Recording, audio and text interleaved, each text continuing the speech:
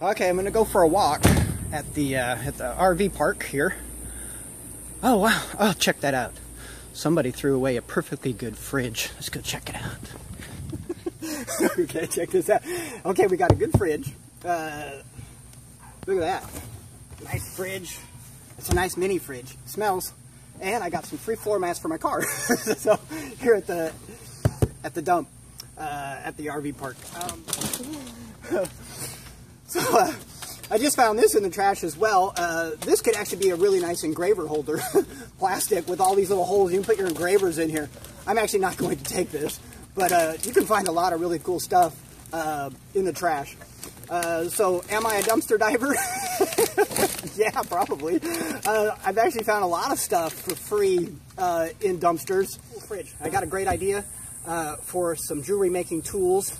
Today I'm going to show you how to take this mini fridge or a used air conditioner uh, or even a water cooler.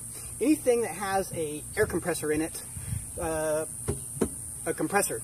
so I'm going to show you how to make a silent air compressor for your shop for free. And um, we're going to take the motor out of here and we're going to put it on an air compressor. Uh, there's, I think it's a company called uh, Juno that makes these air compressors for the jewelry industry. They're very nice. They're very handy. You can put them right next to your uh, jeweler's bench and you'll, you can run your engravers off it and uh, your wax injectors as well. I run um, and they're actually quiet. Uh, they sell in the catalog for $19.95, and that's not $19.95, that's 1,995, $2,000. I'm going to show you how to make a silent air compressor for free today. Uh, I actually have one already made that I've used, and I've had it for eight years, so they're very uh, usable. So stay cool, and you stay calm, because uh, I'm going to pick this up and take it home. Okay. All right. Okay. Okay, here it is. We got it home back to our RV spot. All I want to do now is first is I want to make sure this motor runs before we take all this time and make our uh, silent air compressor. Uh, let's see. Let's just plug it in. It's good. Okay, I got air coming out. Compressor still works. It's good. Looks like somebody else has already got here first. They've already taken off the brackets and cut my lines for me. so, but the motor does work. So this is going to be pretty easy. Uh, make sure it's unplugged. I'm just going to, all I want from this is I just want the compressor. Some of them may have a, a capacitor, in which case you're going to want that as well. So I just want to cut as much of the tubing off as I can for what I need. Uh, somebody's already cut the uh, lines on this one and bent them over. and they took my, my mounting bolts, so, I, so I'm going to have to uh, figure out another way to mount it. So just cut all the line that you, uh, you think you're going to need. Bring over some tools here. All I need, this one has no capacitor. Uh, it's just the motor, so that's nice and simple. I'm just going to cut as much, as much of the power line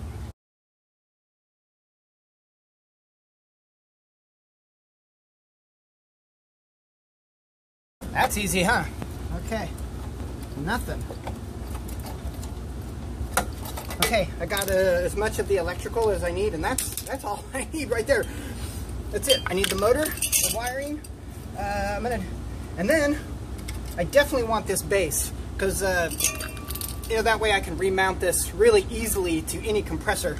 So I just want this base off of here, and so I don't have to try to manufacture a new one because it's right here. All I need it. I can take these two screws off, but really I just need this this rectangular where the where the bolts go.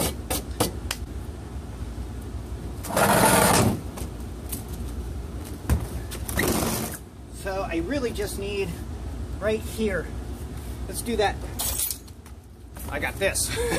One sawzall. And then we'll be done with this fridge and then we can just take it back. Because we don't need it no more. All I want is the motor. okay. Blade's all bent. We'll see if it works.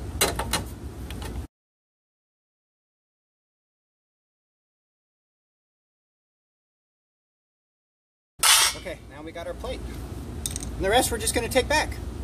Let's take this inside because it's hot out here. I'm to take this inside and we're to get started on our project. All right, here we go. one refrigerator, mini fridge, air compressor ready to go.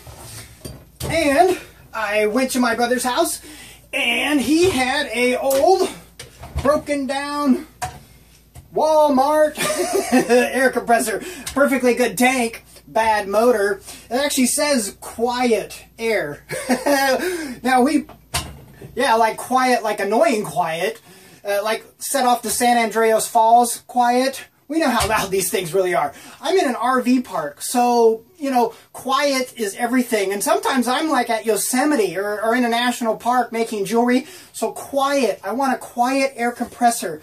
Okay, so let's get started. What we're going to do is I'm going to take this thing apart. It's got a really nice, it's got all the gauges. Everything is there. I got this for free. It was broken. Okay, I've taken all the screws off, so this just comes right off. Uh, the motor, just take... Uh, it has the uh, the uh, copper pipe and the air pressure regulator. Take those lines off and undo the copper pipe. Okay, and down here. And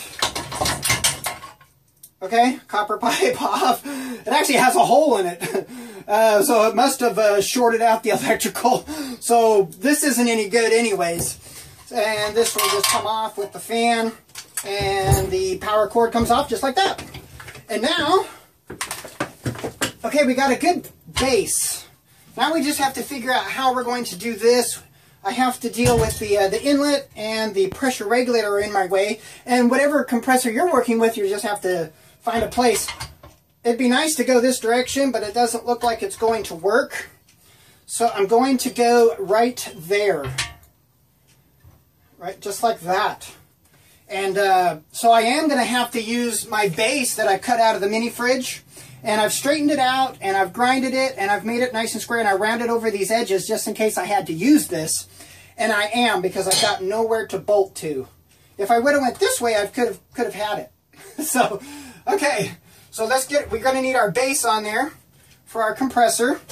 So I've already pre-drilled some holes which co-aligned where the mounting brackets were for the cap, right here.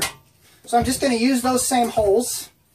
And I got some washers because it's got a lip on it, right there.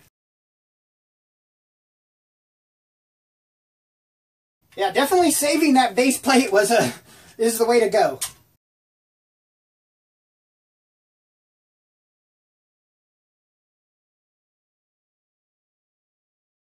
Okay, and I got some, put down your rubber uh, washers, and air compressor can go on now, just like that. Right in there, put your rubber washers on there. That way it just doesn't rattle. It keeps it quiet. Okay, there we go. And thank goodness I saved that base, because that's really going to save me here. Okay. And we're going to mount that.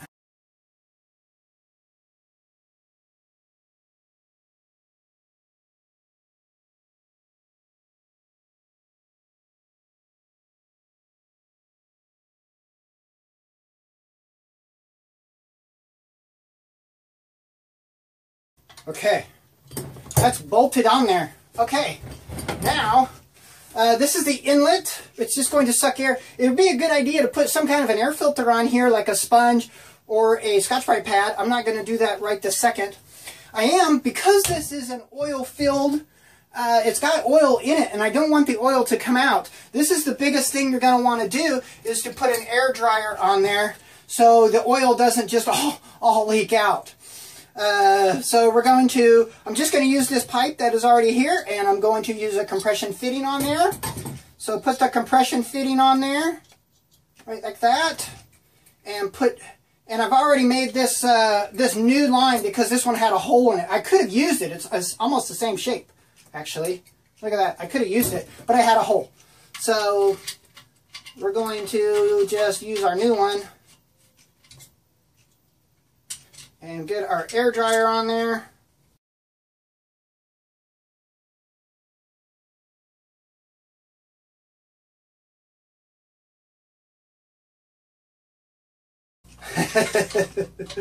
Easy, right? I mean, okay. Look at that. Tight. Good. Okay, now that's all on there. We've got our, our water air filter. I want to put this filter in before I get to the tank. Otherwise, all of the oil from here may get pushed into my tank on these. So I, I actually uh, put it before I get to my tank. Now all we need to do is hook up the electrical and we already know it works. so, okay. Uh, let's see, put that on there. Boom. That. This is a quick, that in there. Yeah, just like that. And I want to put uh, my ground and my power just goes to my pressure switch. Automatically turn it off. And, oops. Okay. Like that. And power from the power cord goes here. Okay. And I do want to put this ground on there, so definitely do that.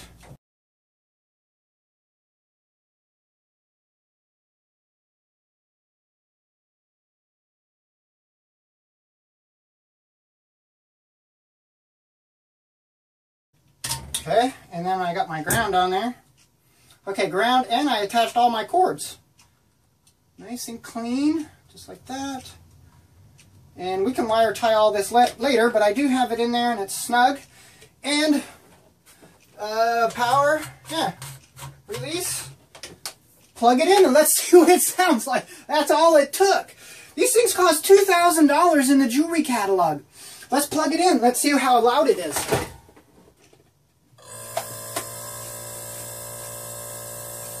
Pretty quiet, right?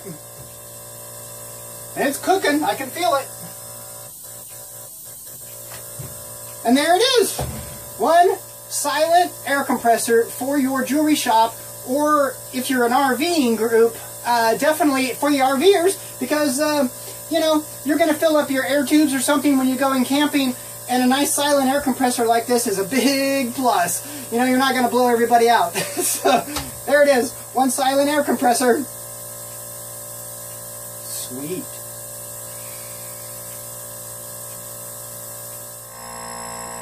Ultra quiet air compressor.